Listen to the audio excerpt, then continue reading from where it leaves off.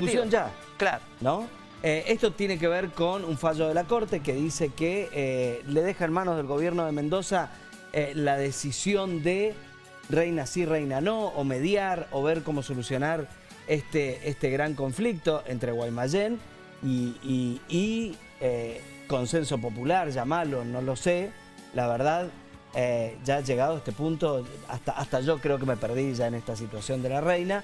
Eh, es claro que el departamento de Guaymallén tiene este año también la intención, está por, por decreto municipal además, de no tener eh, reina en su departamento y no presentar reina. Eh, sin embargo, hay todo un sector que fue a la justicia para eh, buscar una respuesta a este tema. ¿Qué dice Marcelino Iglesias? Que sí, que él va a acatar la orden sí. de la Corte, claramente, pero que considera que la reina ya es un objeto obsoleto. Lo escuchamos. Yo voy a ser muy concreto. Eh, Guaymallén tomó una decisión que fue eh, apelada a la Corte Suprema. La Corte nos ordenó eh, a elegir una representante, así lo hicimos. Eh, y vamos a cumplir cada vez que haya un fallo judicial lo que el fallo judicial nos ordene.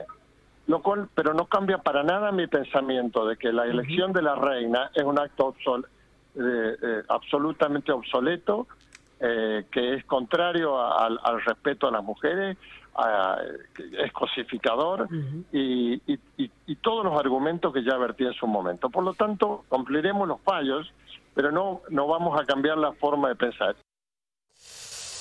Ahí está, Marcelino Iglesias, el intendente del departamento de Guaymallén, y el tema reina. ¿eh? Diga- que cuando digamos. uno abre y cierra los ojos, estamos en marzo y estamos otra vez en el tema de la vendimia. Pero ¿eh? claramente, de hecho, estamos recién iniciando octubre y ya estamos discutiendo reina sí, reina no, Claro. otra vez, ¿no? Y sí. Eh, y es, eh, no me deja de parecer una linda discusión.